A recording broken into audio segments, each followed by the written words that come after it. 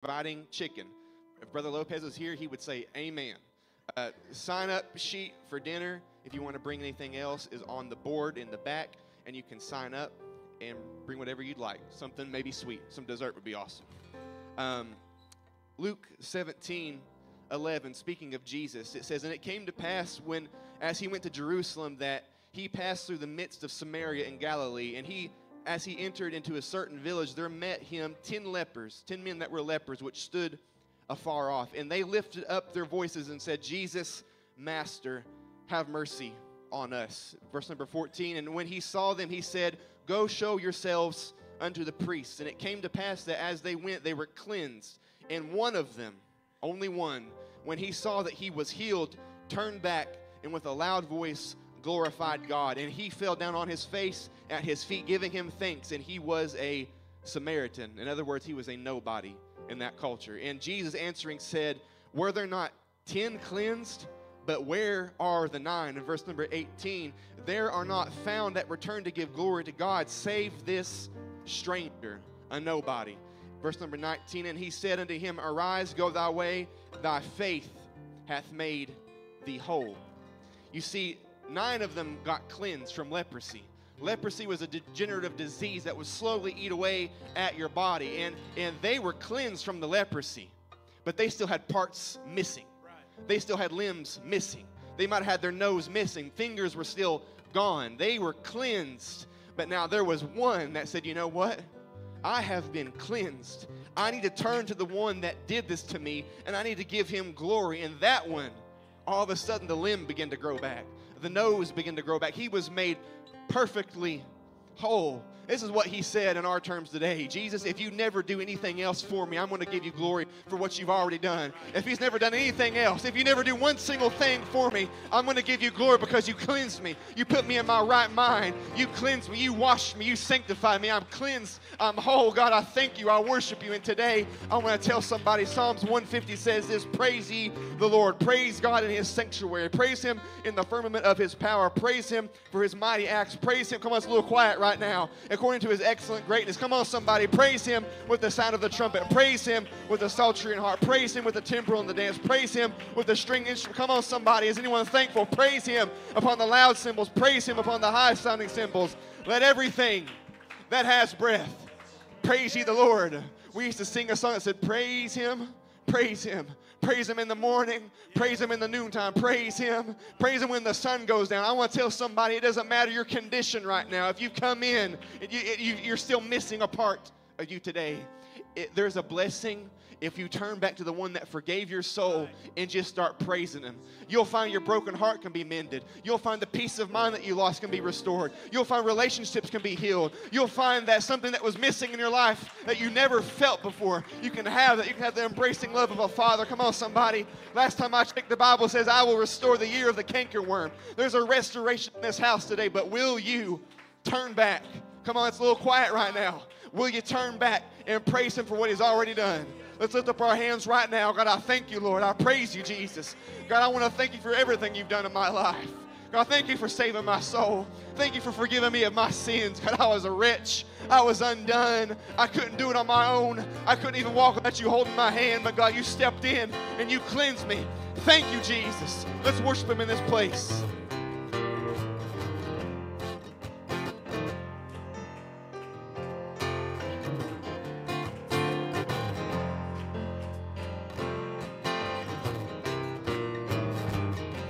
Well, the mighty God is Jesus, the Prince of Peace is He, the everlasting Father, the King eternally, wonderful in wisdom, by whom all things are made, the fullness of the Godhead, Jesus is displayed, yes, and it's all in all in Him. The fullness of the Godhead, it's all in Him. Well, it's all in Him. It's all in Him. Mighty God is Jesus. It's all in Him. Yes, Emmanuel, God with us. Jehovah, Lord of hosts, that omnipresent spirit that fills the universe. The advocate, the high priest, the lamb for sinners slain, the author of redemption. Oh, glory to his name. Yes, and it's all, in Him. It's all in Him. the fullness of the Godhead. is all. Well, It's all in Him. It's all in Him. that mighty God is Jesus. And it's all in Him. Alpha and Omega, beginning and the end. The living word incarnate, a helpless sinner's friend. Our wisdom and perfection, our righteousness and power. It's all we need is Jesus, and we find this very hour that it's all. All in Him. Yes. It's all in Him. The fullness of the Godhead. It's all in Him. Well, It's all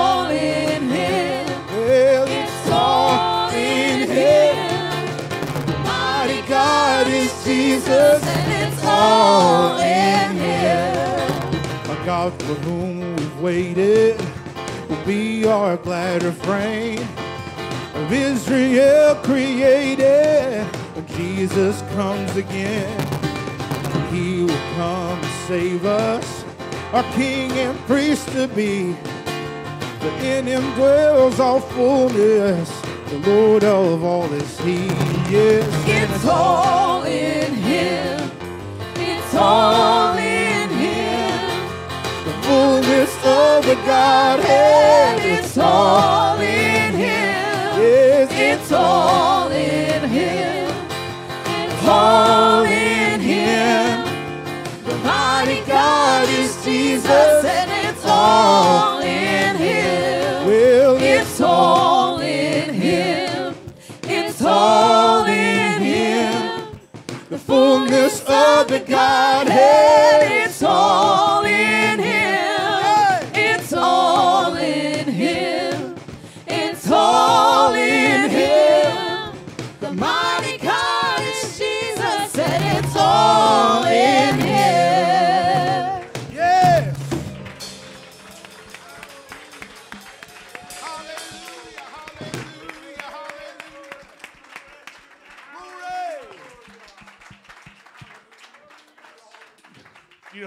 Difference between just singing that it's all in Him and knowing that it's all in Him.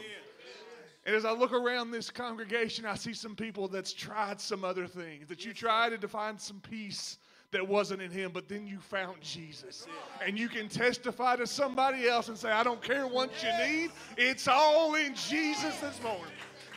Church, why don't we act like it's all in Him as we come to this house? It's not in the bar. It's not in the drugs. It's not in the things of this world. It's all in Him. Jesus, God, I love you. I came up here to take up an offering. I'm going to ask our ushers to come. And as we give, let's give unto the kingdom, but also let's give of ourselves and let's give ourselves in worship and praise for the remainder of this service. Jesus, Lord, we love you. God, we're thankful for this opportunity given to your kingdom. Bless this, Lord. Let it go for the upbuilding of your kingdom. Lord, I ask this in the precious name of Jesus. Amen.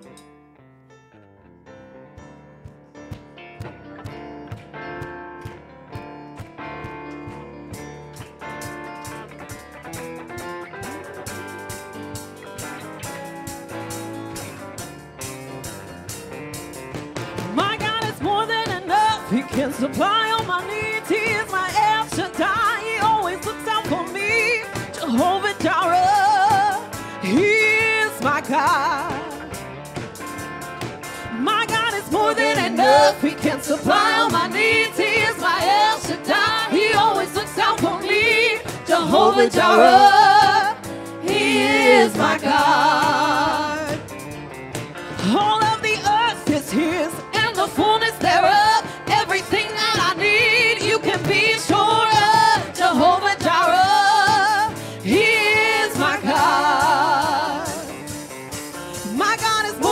enough. He can supply all my needs. He is my El Shaddai. He always looks out for me. Jehovah Jireh, he is my God. My God is more than enough. He can supply all my needs. He is my El Shaddai. He always looks out for me. Jehovah Jireh. He is my God. Fullness thereof. Everything that I need, you can be sure of. Jehovah Jireh. He is my God. All of the earth is His. All of the earth is His and the fullness thereof. Everything that I need, you can be sure of. Jehovah Jireh. He is my God. So why should I worry about the highs and the lows, the ups and the downs? Well, when by my faith I know my God is more than enough. He can supply all my needs. He is my El Shaddai. He always looks out for me. Jehovah Jireh. He is. He is my God. So why should I worry about the highs and the lows, the ups and the downs? Well, when by my faith I know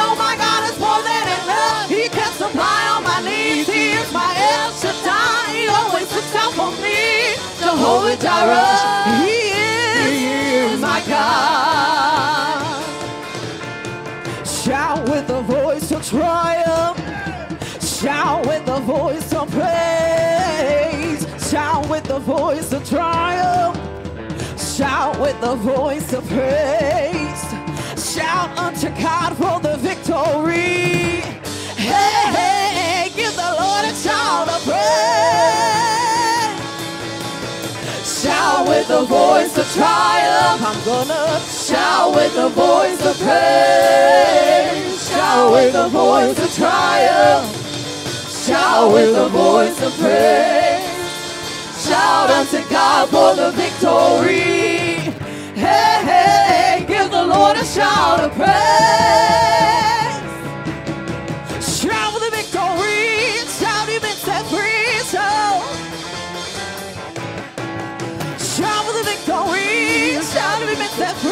Shout. Oh, shout for the victory. Shout, you've been set free. Shout. Shout for the victory. Shout, you've been set free. Shout. Shout for the victory. Shout, you've been set free. Shout.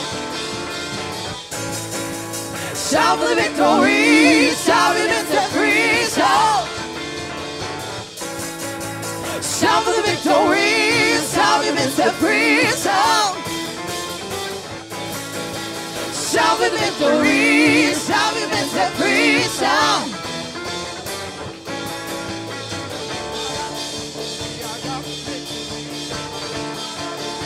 I got the victory. I got the victory. I got the victory. I got the victory. I got the victory. I got the victory. I got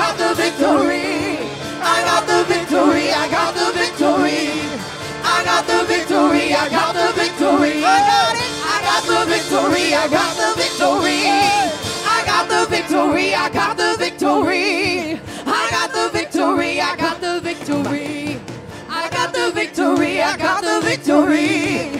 I got the victory. I got the victory. I will shout with the voice of triumph. I'm gonna shout with the voice of praise. Shout with the voice of triumph.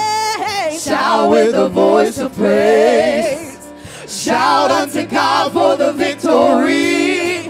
Hey, hey, give the Lord a shout of praise. Shout with the voice of triumph. Shout with the voice of praise. Shout with the voice of triumph. Shout with the voice of praise. Shout unto God for the victory. Give the Lord a shout of praise.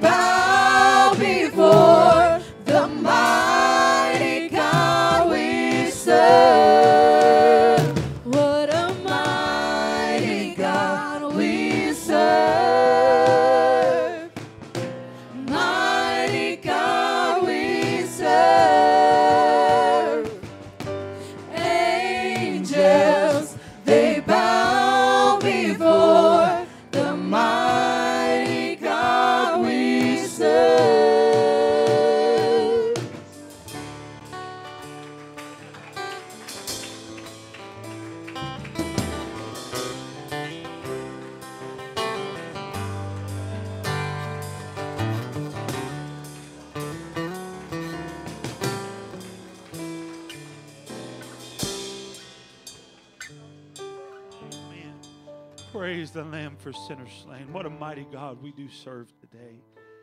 And uh, man, I, I just feel impressed to tell somebody that's waiting on the next big thing, the next great revival, the next, and you're waiting on just the time you come in and everything feels right from the beginning of the service to the end. And that's when you get your miracle. That's when you get the Holy Ghost. That's when, let me tell you that tomorrow is a lie. Man, and it, it's, it's, it will rob you of what God wants to do today. Man, it doesn't matter if you came in just feeling off, you just drug in here tired and weary. Man, I believe God can change all of that in the middle of a prayer session, in the middle of a worship song, in the middle of an altar call. Man, and you may have come in here just going to make it through the service. That's the I mean, I know I'm not the only one that's came in with that game plan today. I'm just going to make it to Sunday afternoon. That's what we're gunning for. Now, how about, how about you make today the day that you receive the baptism of the Holy Ghost? Come on, today can be the day marked on your calendar that five years from now, 10 years from now, 20 years from now, you're saying that was the day it all changed for me. That was the day I got what I needed in God. That, that was the day I was baptized in Jesus' name. That was the day I was healed and delivered. And that was the day I laid my addiction down at the altar. Never picked it up again. Now, we, we, we all shout about it. We get excited about it, but but doing it's a little harder. So I just, again, I just want to encourage us on the reality of it. Man, we're we're about to hear some great preaching. We're about to, man, and, and we're going to have to ignore what's on our to-do list. We're going to have to ignore even how we feel to some degree, what our body is telling us. And we're going to have to put God first. If this is our day, I'm talking to some saints of God too. This can be the day that, that the depression is lifted. This can be the day that your focus gets right again. But it starts with some effort. God will so often, He, he can do anything. But there is a principle we see that it, He will do what we can't, but so often He won't do what we can. We have to be willing to do what we can. And maybe, maybe your health won't even hardly let you come to the altar, but if you will raise your hands and pray, man, and if you'll get our attention, somebody come pray with you. Man, somebody can get the Holy Ghost in their pew today. But, but somebody can come up here and just be set free and, and think clearly and leave feeling lighter than they came in the door. God wants to do some things for us, in us, through us today. But I also want to do some things for Him. And all of that requires our effort and our focus. So you can make your way to your seats, but just remain standing. Thank you for worshiping. And thank you for being a worshiping church. We're a blessed people. We really are. Now, um, we are we're going to pray just for a moment over those that are sick. We do have quite a few that are unable to be here that are sick today, and uh, we want to uh, lift them up in prayer. Thank you, brother. And uh, you can just kind of look next to you and see who's missing, and uh, and no, we won't make mention of all of them, but we do want to. To, I, I don't think she'll mind. We do want to have special prayer for Sister Kim Rucker and just that God would touch her body. And uh, man, we we sometimes battle with things for for years, and uh, man, I, I again, if you got God figured out, you are God because only only He knows all those answers. But but I do know what the Scripture says about prayer, and I do know that God honors our prayers. And man, we can pray for an instant healing. And God can do that in a moment. But whether He chooses to or not, He honors the fact that we're praying in faith. So we're going to pray a divine touch on her today. And if you've got a, a need you want to make mention of, if you'll just represent it, and, and we're going to we're going to pray today in faith. Man, we don't have to pray out of habit. We can pray out of faith today, knowing our God hears, our God answers. Amen. Let's pray right now. Lord, we love you. We are so thankful, my God, that you're here in this place, that you're attentive to our cry even now. Lord, I pray your touch, my God, over every need represented by the raising of the hand. My God, you know those needs. You know the individual. My God, I pray that you would honor that faith right now. My Lord, we're honoring you in obedience to pray, my God, in faith, trusting, Lord, that you're going to work, that you're going to move. I pray for encouragement and strength on those that need it.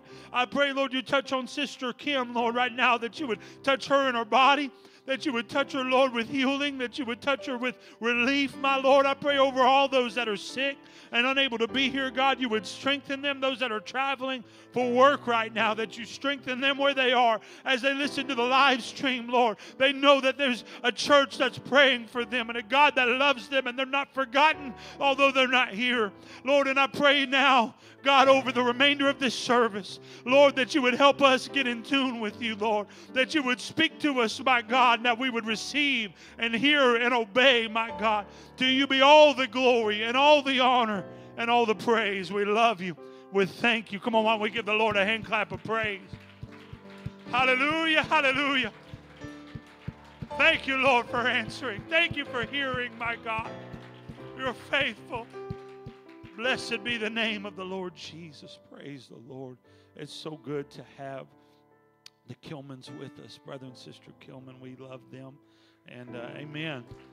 If you were here yesterday, you were blessed by their ministry. And, uh, and, and I'll say this, uh, man, it's good to have them as special guests with us. But if you're a guest with us, uh, whether I've got to meet you yet or not, we are so thankful that you're here. Why don't we give all our guests a hand clap? We appreciate you. Also, uh, our, yesterday was our Apostolic Identity Conference, and uh, is our first one, but it's going to be something that we uh, we try to get in the habit of doing at least annually. So if you weren't able to make it yesterday, I encourage you, please, please, and through your week when you get the time, if it's on your way to work, listen to the teachings on the live stream. Um, on the church's Facebook page, or likely be put on the YouTube page um, uh, of the teaching yesterday. I mean, that is vital for the day and the hour that we're living in. And uh, and also we tend to be kind of taken back by something that we're not used to. And we had these classes on a saturday and i realized there were many that were maybe unsure what it was all about. Uh, but this will let you know that next time you want to be there. So uh, so you might want to watch that and i would encourage you to. Uh, but right now we're going to be blessed by his live and in-person ministry. And uh, uh, man, I, I, give a lot of honor to Brother Kilmon as he comes, but Sister Kilmon is such a blessing to, to so many. And just having them, amen, having them in our home yesterday, they, they didn't stop ministering just because they were off the clock, so to speak. They were ministering to my wife and I, and just uh, wonderful people. You know, your ministry is just an overflow of who you are. It really is. You can't just try to be a, a, great minister up here and then be someone else off the clock. It doesn't really. The anointing flows from the real you, not the fake you, and uh, and they are very real and very anointed. Uh, Brother Kilmon, why don't you come minister to us? Let's give him a hand clap as he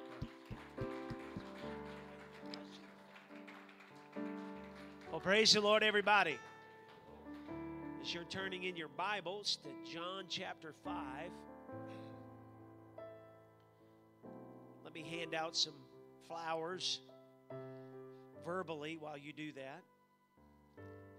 Your pastor and his sweet wife are so kind. The, the family is great.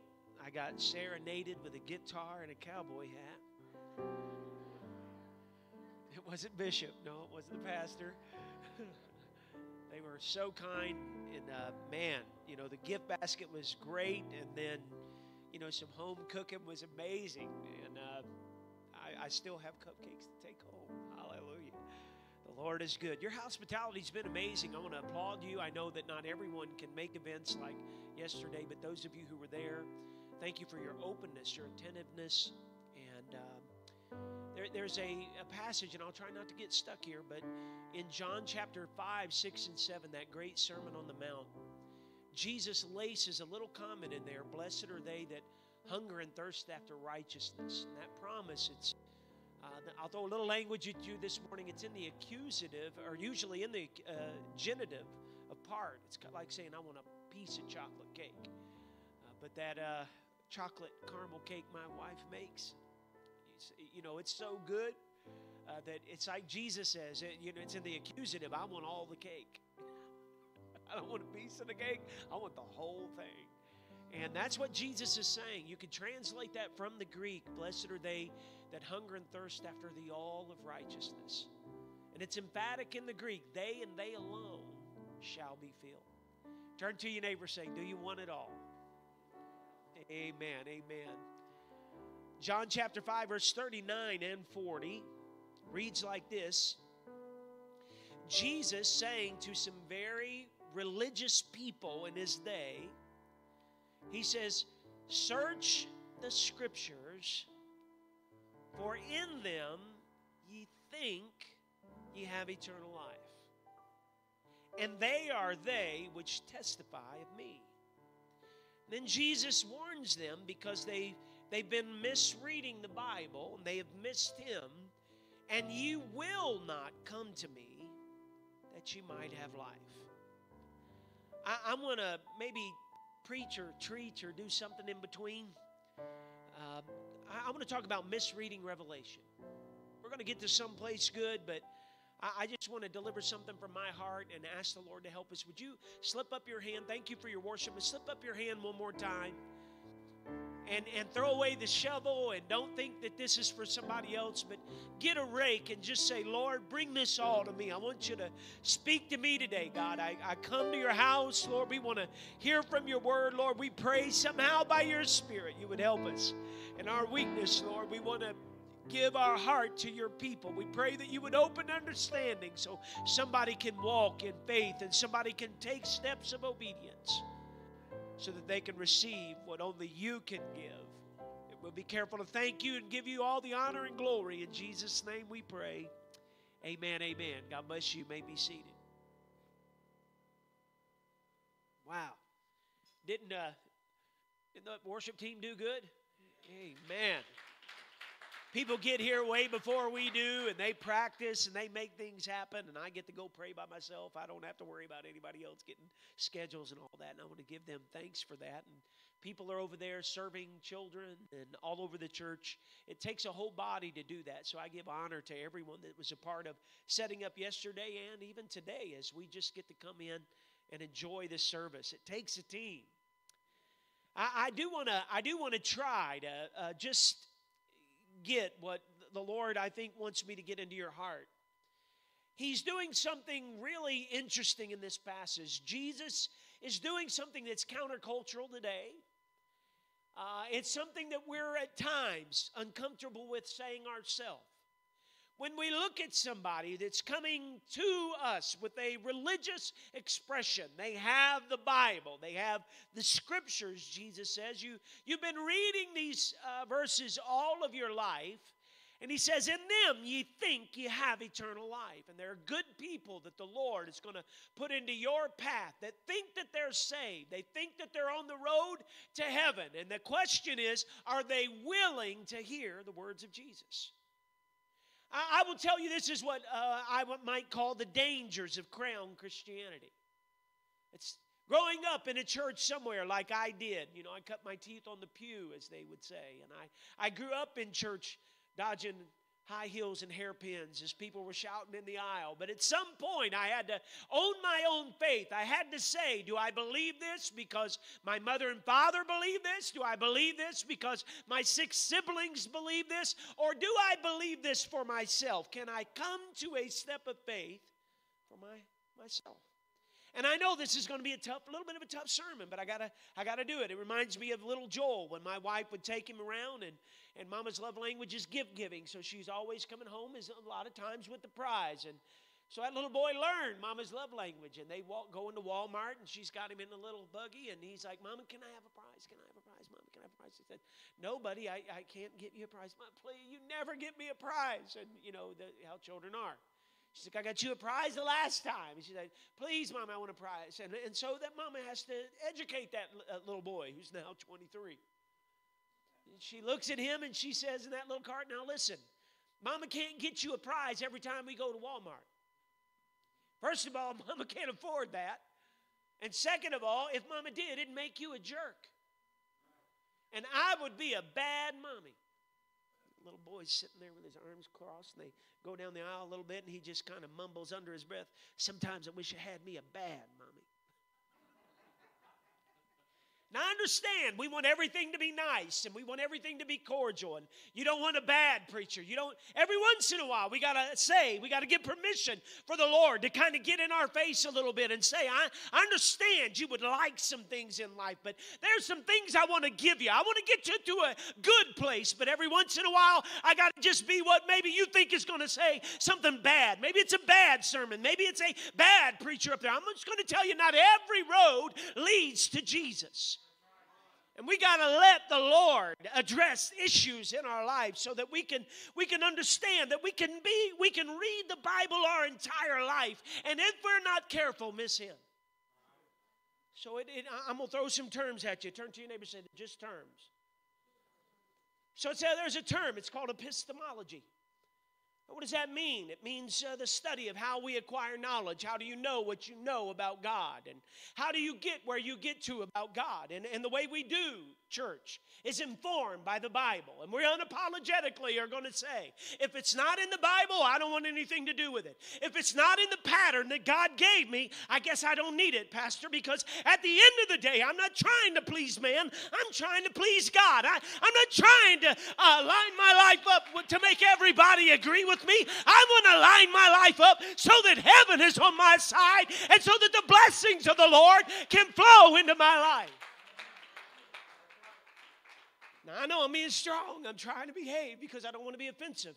But every once in a while, you got to know that just you standing for truth will, will offset some people. And so, how do you know? How, how do you say some things? Oh, so, epistemology what do I know about God? It's about how, another word. Turn to your neighbor say, it's just another word. It's called hermeneutics.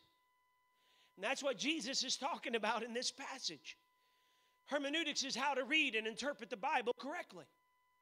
And that means you can misread the Bible. If you got on a lens of tradition instead of a lens of revelation, you can misunderstand what God wants you to see. That's what Jesus is saying in this day. I understand you're experts. You're experts in the law, and, and you know, try not to be too smart alecky here, but you're little experts and you run around, you got your scholarship, and you got all the people that agree with you. The challenge at the end of the day is would the sermon that's being preached in your church be recognized by Jesus and the apostles? I'll go a step further. If you go to your baptismal ceremony in your church, doesn't match anything that the apostles would recognize. If you could pull Peter out of history and drop him in the middle of your baptism ceremony, the question is, would he recognize what you're doing? All due respect to my Catholic friends, he, they don't sprinkle in the New Testament. All due respect to my Baptist friends, they don't baptize in the titles in the Bible. They baptize in the only saving name, which is the name of Jesus. Well, you're saying, Brother Kilmon, you're doing church wrong. You're doing church wrong because you're not doing it according to the pattern. And so, uh, have you ever been reading the Bible? And I'm sure many of you, I'm, I'm going to challenge some of you to uh, commit some things to memory today that'll help you share your faith. And, and, and I, I expect the Lord to use you. I expect the Lord to put hungry people that are trapped in tradition in front of you. Now, I'm going to be really strong today. I'm going to be as strong as Jesus. All right, now what does that mean, Brother Kilmon? It means means something like this: that there can be people, and I know you got a jail ministry here at the church, and you go and you talk to people about coming out of the lifestyle. How many of you know the Lord can do what He did for my daddy? He can take that old backslidden boy and He can take him out of alcoholism. He can baptize him in Jesus' name in 1968 and watch him be healed of cancer in the water. How many of you know the Lord can deliver you from addiction and He can make you a better man and a husband and a father than you could ever be on your own. But he also has to deliver people from tradition.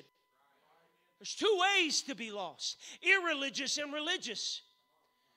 And we have to be careful to say that I want to make sure that when I get on the other side of, of this thing and I step into eternity, when I stand before the Lord Jesus Christ, I don't want Him to look at me and say, You have been reading the Bible wrong your whole life. He says, You remember that crazy old Hoosier that the pastor had to come in and preach to you and talk to you about making sure that you understand my revelation? Everybody's going to have a witness somewhere that there is only one God, and His name is Jesus. And if you want to walk with Him, you got to aside every tradition that would stop you from embracing who He is. Turn to your neighbor and say, He needs to calm down. See, I love this thing. I, I, I know because it's like there is a reality that uh, people need to understand that you can be lost right in a church house, that you can be locked away from the potential of what God wants to do in your life by the lies of tradition. And it's man made stuff. And I don't even think it's malicious all the time. It's just people that are raised a certain way. And I, I, will try to hurry today. So when people, it's like a, my, my, my mentor in, in IBC when I was in Bible college, Brother Talmadge French, he was raised Church of God. He was an Assembly of God ordained minister when the Lord brought revelation uh, to him. And, and, and when he got the revelation of the mighty God in Christ and the revelation of baptism in Jesus' name, he, he went on to uh, seminary, began to uh, do some things that the Lord directed him, much like uh, the path he put me on. Uh, Brother Hawkins, uh, uh, Hawkins Smith, and he said, Here's the issue. When you get there, the, the, the professor, he said, Now, you tell me that there are things that I need to believe in in order to be a Christian. Certain doctrines that if I don't confess, I'm a heretic and that I'm not saved. He said, Now, when I, when I look at the Bible, and especially the New Testament, and you told me, look in the New Testament because you can't find it in the Old Testament. I've looked in the New Testament. You say, study the Gospel of John. I've looked at the Gospel of John. And he said, and you said, well, you need to read it in Greek. He said, well, I'm an ancient language major. And I've read it in the Greek, I've read it in the English, I've read it upside No, he didn't say upside down, but he said, I've read it every way that I can, and I can't find the concept of the Trinity in the Bible. And the seminary professor looked at him and said, no, of course not. He said, What you need to understand, Talmadge, is that we've gone beyond the Bible. And that's the question I have for you today. Are you willing to go beyond the boundaries of God's revelation? There's some things I can't say about God because my hands are tied by revelation. I don't think I'm smarter than God today. I can only preach what's in the Bible, I can only say what's in the Bible, I can only confess what the Lord has said about Himself because He is self defined. He said, That's right, you've gone beyond the Bible. He said, he says, uh, Well, what you need to know is the Bible says that they were ignorant and unlearned fishermen. Now, what that meant was they were not, they, they were not trained by the, in the rabbinical schools of the day. They didn't go to Rabbi Shammai or Rabbi Hillel. They were, or even Gamaliel, taught by where Apostle Paul was. And, and, and he says, you, They didn't have any of that background. That's all that means. But, but he, that doesn't mean that they were stupid. They may have had a good teacher, a good rabbi. His name was Jesus. And he says, Now you're not saying that they were stupid. He said, That's exactly it. They were too stupid to get it. You had to wait till these great Greek philosophers and thinkers came along in the second and third and fourth century, and then they could explain God. He said, Well, I tell you what, you can stay with them, and I'll stay with the guys who can say, Silver and gold have I none, but such as I have, give I thee in the name of Jesus of Nazareth. And the lame man gets up and goes into the temple praising God.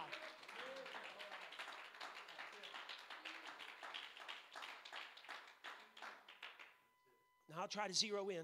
Try. Our, our wonderful friends use the Bible, they use the scripture, but they also use other things. They use the uh, uh, they use second to fourth century philosophy, things that were developed in creeds and councils. Everybody say after the New Testament. now I'm just going to tell you. I mean, there's a Genesis and there's a Revelation, and that's bookends. There's a beginning and there's an end. And we're called to earnestly contend for the faith that was once not many times delivered unto the saints.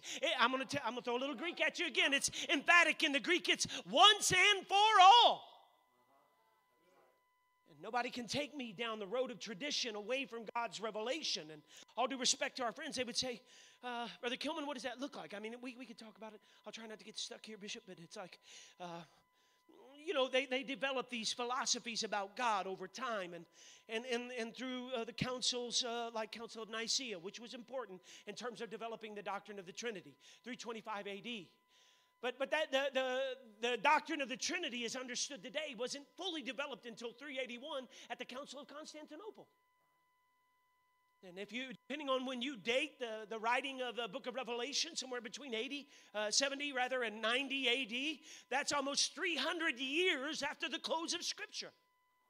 Are you telling me I couldn't understand or confess who God was until 300 years after the Bible has already been written. I'm going to tell you that's not the way uh, that we need to understand the will of God and the Word of God and the revelation of God. God's not willing that any would perish. He wants you to have the steps you need to understand who He is so that you can understand that He's a rewarder of those that diligently seek Him. Now, I, I'll try to, I'll try to, okay. So, what do you, what do you mean, Brother Kilmon? Here's what, what apostolics would say we believe that God's process of revelation is good. So, here's what I'd like you to do. All right, we'll, we'll slow down just a little bit. Open your Bible. If you got a physical Bible, separate off the Old Testament like this. Now, I know some of you got some nice study Bibles out there. I saw some nice study Bibles. If you got a nice study Bible, you can separate off the concordance. I got a little bitty study concordance on this one. So you can separate that off and then get the Old Testament and the New Testament up and hold it up. Now, I know it's hard to tell, it's so difficult to see which is bigger. Which is bigger? Old Testament. Why? Because the Bible says, the Apostle Paul writing in the fullness of time, God sent forth his son, made of a woman, made under the law. And that means that Jesus could only come with the proper context of revelation first.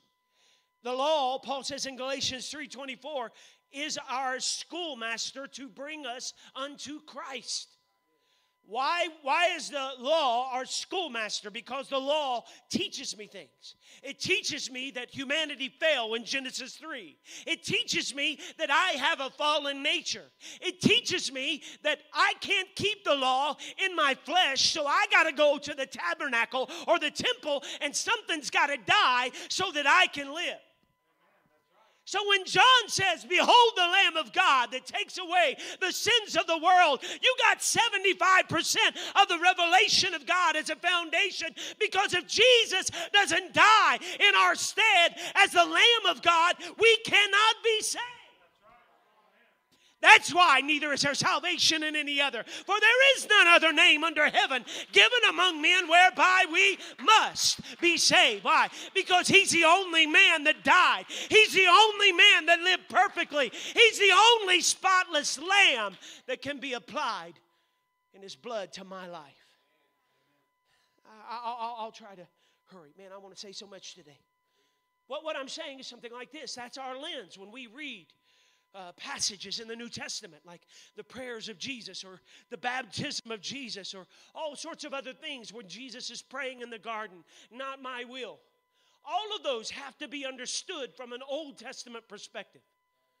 And that means that we believe that we don't need extra biblical revelation. We don't take, uh, we take this to interpret this. We don't go outside of this almost 300 years to find something to explain this.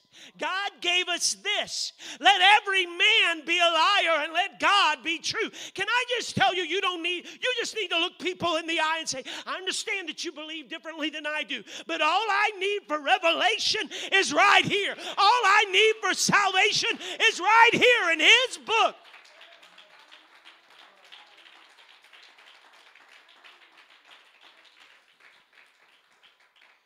We got so many admissions today. I could tell you example after example after example, but I'll just give you one. His name's uh, Luke Timothy Johnson. He's a Catholic scholar. Anybody got any Catholic friends? I got some Catholic friends. I'm trying to win everybody. Hallelujah. I got some. I got all sorts of friends. I got Eastern Orthodox friends, Mother Catherine. I got uh, quite a few friends. I'm trying to win for Jesus. And we go talk about, we talk about the Bible and how they view the Bible and read the Bible. And Luke Timothy Johnson's uh, the, one of the premier Catholic scholars. And this is what he says in one of his teaching videos for the Teaching Institute. He says, We do not have a New Testament view of God. he says, he says, the Apostle Paul knows nothing about the third person of the Trinity. He says that when you're filled with the Spirit, you're filled with the Spirit of Christ. That it is Christ in you, the hope of glory. So here's what he says. We say as Catholics, and by the way, most of you Trinitarian Protestants would say that when you're filled with the Spirit, you have the third person of the Trinity. Third. He says, Paul says you got the second. Now, the problem with that is Paul goes on to say in Ephesians 4 there's one God and Father of all, who's above all, through all, and I'm getting confused. Is it the first, the second, or the third? It's getting kind of crowded, especially when he goes to say on to say in Ephesians 4, there's only one spirit. And if there's only one spirit, you either get the one God in multiple aspects of the way that he wants to save you, what he intended as Father, what he purchased as a son, and what he applies by his spirit, or you got some kind of confusing thing that, that makes the Bible contradict itself. Okay, I'll try to hurry. Turn to your neighbor say, He's going to try to hurry. Now, what I'm doing, I know I'm being crazy because I love this. But what you need to understand is the way that you read the Bible is critical. So, God is, I mean this with love. There are people that love Jesus. There are people that are hungry right now saying, God, I want more of you. And you're going to be on the job next to them, and you cannot be intimidated by tradition. You have to be willing to share out of your heart the truth, the things that you know about the Lord. So I'm going to give you a little equation to write on a little napkin uh, on your lunch break or, or, or that you can uh, uh, write on, a, on the, like I worked in construction, walk over, just do it in the dust. It'll be great. Right, 2 4. So, this is the way most people read the Bible. Most traditions in, in this, this town read the Bible this way. You take second to fourth century philosophy, 2 4, then draw a little arrow and put NT for New Testament. And say, this is the way they approach the Bible. They look at all of this language like Son of God and Son of Man and the baptism. I wish we had time to deal with them all. Uh, and, and, and man, we could have a blast. But I will, oh man, I'm trying to move on. But, but I promise you, you don't have to be scared of any verse in the scripture. But what am I going to do with this, brother? G- Jesus says, uh, if, uh, if any man believe in me, I am in my, my, I'm in my Father, and my Father's in me. And, uh, and what are we going to do with all this? I and the Father, and the Father's in me. Well, which person of the Trinity is supposed to be in Jesus? God the Son, huh? The second one, not the first one. When Jesus says, It is the Father in me that doth the works. I'm working because my Father's in. The Son can do nothing of himself. Only all of that language is oneness. Because our Trinitarian friends say the second person, not the first person, is in him. What we say is there's only one God and Father of all. God the Father was in the man Jesus that he became, purchasing salvation for us as a man. Only we can make sense of all of the scripture. What are we going to do with the prayers, Brother Kilmon? We're going to look at that in a minute. How many have been asked that questions? Was Jesus praying to himself? Ha ha ha ha. You know, like they got you or something. It's like, well, who do you think he was praying to? I got an answer, but let me go ahead and throw that back on you first. Was, was an omnipotent God the Son praying to an omnipotent God the Father for help? See, the reason you pray is because you need help from a higher power. Now, why is Jesus praying? He's not praying his deity. Hebrews says he offered up prayers in the days of his flesh. His humanity had to submit. I'm going to quote J. Vernon McGee uh, uh, through the Bible program, that, that wonderful Trinitarian on the radio. He says, If one God prays to another God, he ungods himself. Exactly right. So he's praying as a man, right? Yes. Now, if he's got God on the inside, why does he even need to pray? He would just access what he needed if he was God the Son. But if he's a true man, and every man needs to pray according to Psalms and lift their petition to God, then Jesus, as a man, had to fulfill that aspect, or he could not be our substitute. Oh, I wish we had time. Turn to your neighbor say, He's trying. So here's what you do You take second to fourth century philosophy, where they change biblical terms and invent non biblical terms. God the Son is never in Scripture. The Son of God is. Well, or, and the Son of Man is. Ooh, that proves he's God the Son. No, no, no, no.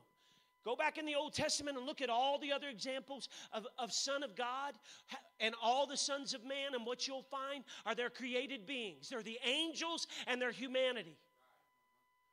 So that means every time you read the term Son of God or Son of Man in the New Testament, you got to let the lens of the Old Testament interpret it. If you go over here and invent God the Son, it's going to mess up Jesus. And if you mess up Jesus and your reading of the Word, you may get your baptism wrong. Okay, turn to your neighbor and say, That's right. I'm trying to hurry. Uh, second and fourth century philosophy, you put an arrow, you put an NT for New Testament, and then and another little arrow put OT, Old Testament. Why?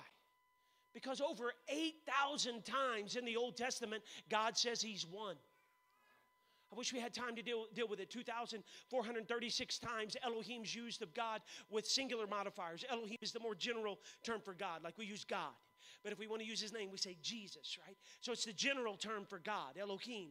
And, and, and it's like uh, when you see it there, we'll say, yes, but it's plural. Plural majesty, but not plural number.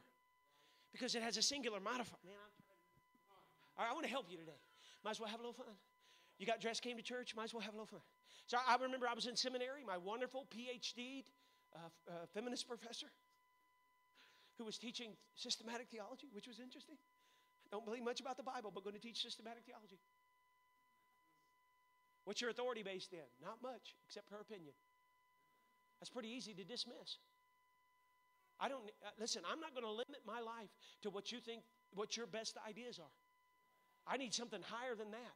I need revelation from God. I have revelation from God. I can build my life on something else. I can build my faith on something else. My assurity comes on something else. We have a more sure word of prophecy. It's the vindicated word of God. And I, I, I remember she said, Well, you know, if you look at the first verse in the Bible, Elohim is uh, plural and it's feminine. So in the first verse of the Bible, in, and in the beginning, God, Elohim, you have an argument for God as a plurality and God is feminine. Now, how many of you want your how many of you want your faith to be based on the Bible? How, how many of you would want to know if that's plural and feminine? How many of you want to know that God's a plurality and a bunch of girls? But the problem is, Brother Hawkins Smith, I already been to IBC. I already know better than that. And, and so I just ups with my hand in the back, causing trouble like I normally do. And, and she said, Bobby. And I said, Isn't Elohim quantiplural like deer? And if I say a deer, you know how many deer there are. And the Bible says in the beginning, barach, uh, that's created, that's a singular modifier for Elohim. Barach Elohim. So it's like saying a deer. So don't we know how many there are? And I said, Isn't, isn't the em ending actually masculine? And I kid you not, she turns to her Anglican priest TA who has more language than her, and he says, That's the way we read the Bible now. You mean you've been reading the Bible wrong your whole life? You mean you have shut yourself away from the revelation of the one God of the Old Testament? I wish we had time to deal with all of the examples of the one God of the Old Testament. He's called the Holy One, the Righteous One, the Lovely, lovely One, never the Holy, Righteous, two or three. Deuteronomy 6 4, the, the Israelite, a Jewish person, to this day tries to, with their last breath, make that confession in, in its con, uh, in, in encapsulated form Shema Yisrael, Yahweh Eloheinu, Yahweh Echad. Hear, O Israel, the Lord our God is one Yahweh. One, that's the name of God. It's not Yurish. You can't, you can't make it substance. God is not just one substance, He's one person. There's only one God. Over 8,000 times, God said, I, even I am the Lord. Beside me, there is none else. Now, which two other persons in the Trinity doesn't know about the other two? I'm going to tell you, God, by definition, is omniscient. He knows all things. There is no Savior beside me. Is there a God beside me? I know not any. I'm going to tell you, you need to just lay aside any tradition and say, God, show me who you are. So here's what you have to do you have to treat your hermeneutics as sacred. What do you mean by that, Brother Kilmon? You got to read the Bible sacredly and seriously. And sometimes showing your friends those kind of approaches, that's your approach. They'd say, Well, you're saying you don't have a lens. Oh, no, no, no. I got a lens. I got a lens.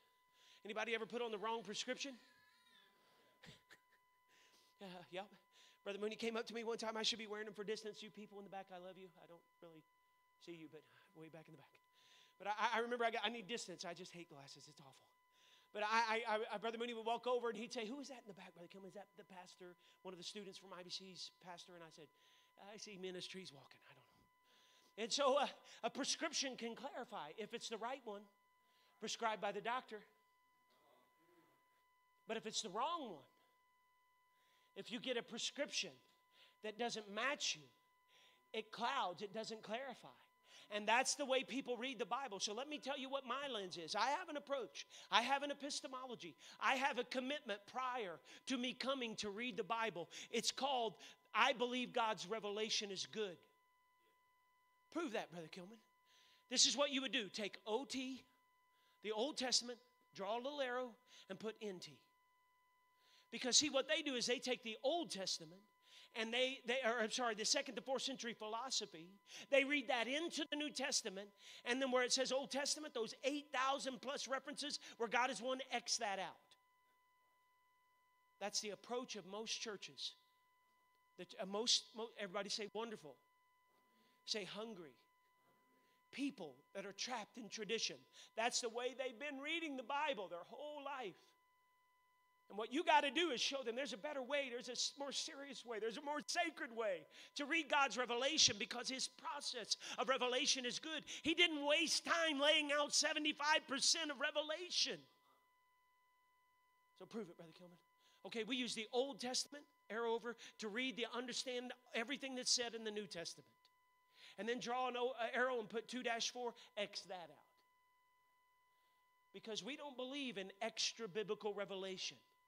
What does that mean, Brother Kilmon? We don't care, we're not looking for anything outside the Bible. Well, Brother Kilmon, you quote people. Yeah, only when they agree with this. Who, are you going to quote? Well, I'll quote, how about I quote Billy Graham's pastor, W.A. Criswell. In an interview with Paige Patterson, he says, What are you going to see when you get to heaven? He said, The only God you're ever going to see in heaven is Jesus.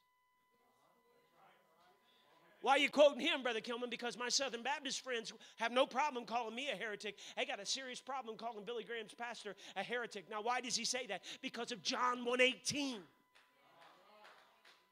No man has seen God at any time. The only begotten Son, He's the one that declares it. The only God you're ever going to see in heaven is Jesus. I, I got to lay in this thing. Matthew 27. Let me give you a case study. Because here's what happens when people read the Bible wrong. They shut themselves away from the revelation that God intends. Bible says, in about the ninth hour, Jesus cried with a loud voice, saying,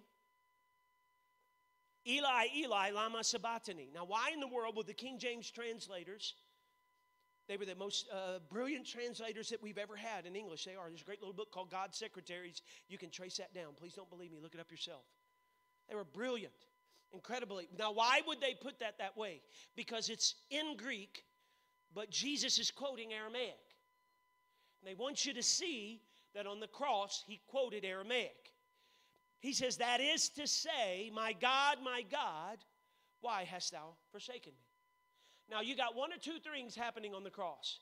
Is this a conversation between God and the Father in terms of the Trinity? He's praying off the table, right? He's praying as a man. But he's also doing something else. Well, maybe, Brother Kilmon, the Spirit began to pull away and, and, been, and, and Jesus is praying only as a man. No, no, no, no, no, no, no. That, that's not happened. Hebrews says that he offered himself up through this, the eternal Spirit. What he's doing is he's quoting a passage. If we're in New Testament times and I, we're in synagogue, we're going to meet to uh, read the Bible and pray together. First of all, we wouldn't use that heathen Greek language. We would use either Hebrew or Aramaic. And, and that's how we would worship. We wouldn't speak the Greek language because that was the language of their oppressors, and, and the Hebrew scriptures were in Hebrew. So they would speak either Hebrew or Aramaic. And if I wanted you to open your Bible in the Old Testament to Psalm 22. Now, I wish we had time to do the baptism too. I'll give you a little homework for those of you who want a little extra. Just look at Psalm 2 1, Genesis 22 2, and, uh, uh, well, uh, we don't have time. Isaiah 42 1. That's an encapsulated thing being spoken to Jesus over his baptism, and it's about him as a man starting his ministry. Has nothing to do with the Trinity. But when you look at Psalm 22, Jesus is quoting. If I wanted you to open up to Psalm 22 in New Testament times, I couldn't say turn to Psalm 22 because the chapters and verses were added into English later. A benefit to us. It was wonderful. So if I wanted you to turn to Psalm 22, I would say open your Hebrew Old Testament to Eli, Eli, Lama Sabachthani, which is Psalm 22 1. Look at what the Bible says. My God, my God, why hast thou forsaken me? See, what Jesus is doing is he's doing something on the cross. The suffering is real. But what he's trying to get them to understand, even on the cross, is don't think hell's in charge. The Lamb was slain from the foundation of the world.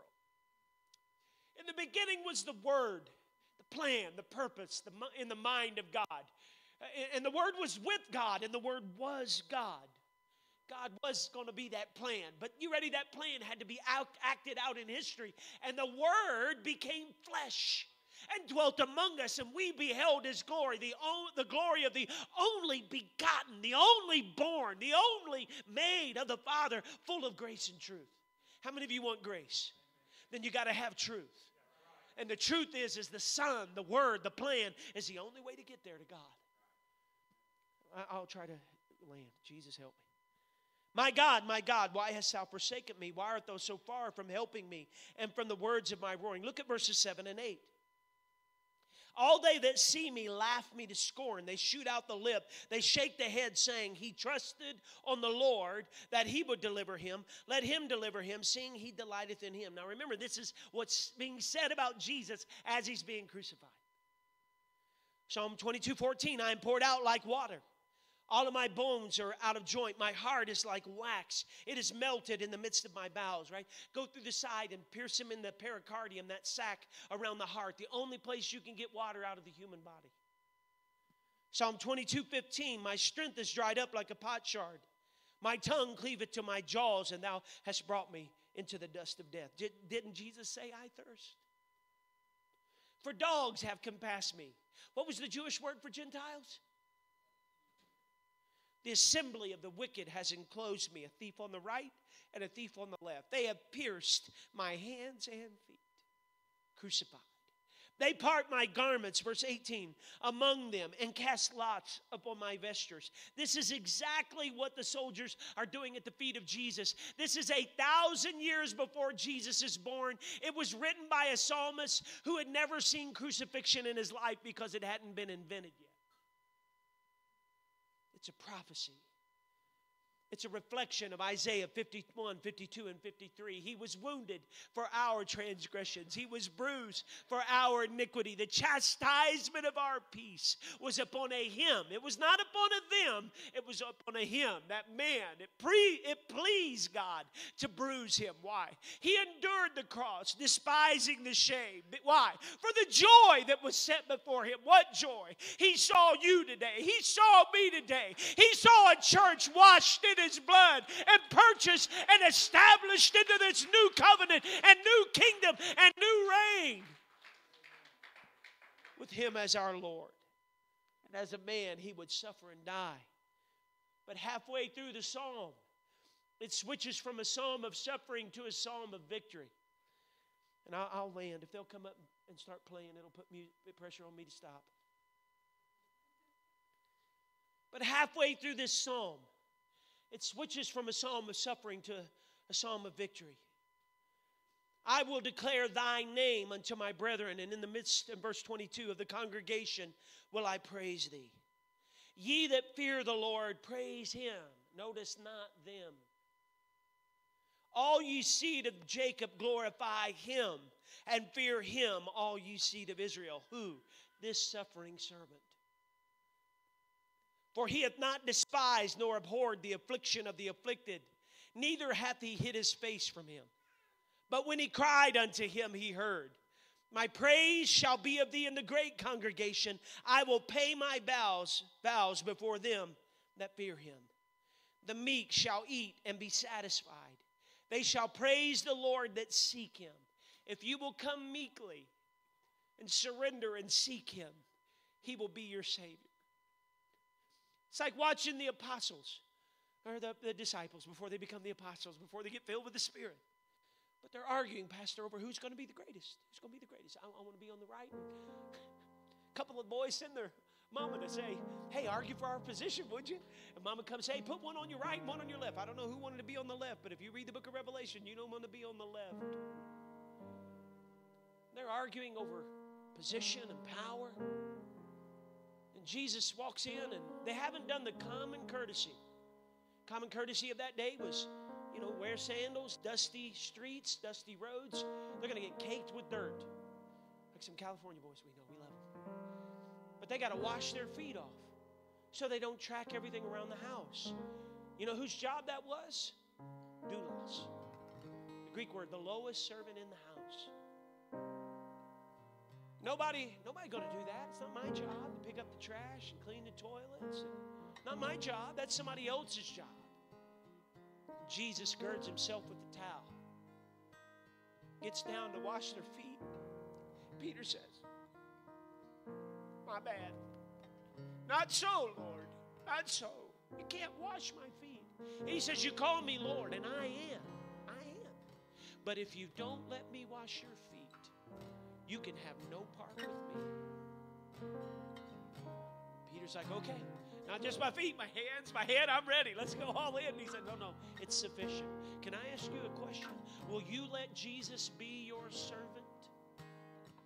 Will you let him be your suffering servant? Will you say, Lord, if it really was your blood that will wash whiter than snow, if it really is in your name, then I'm willing to lay aside tradition today and say, Would you baptize me? Would you wash me? Lord? Would somebody take me to the waters and take me down to that only saving? Neither is there salvation in any other.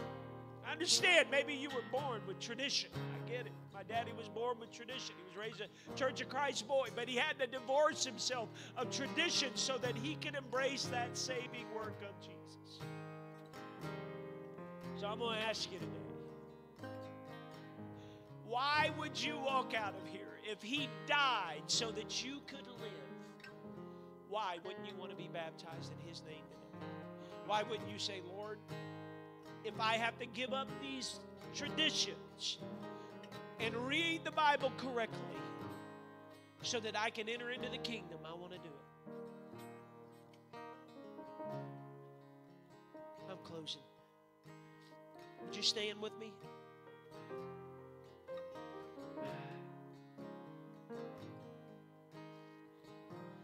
Here's what I want you to do. I got, I got two altar calls.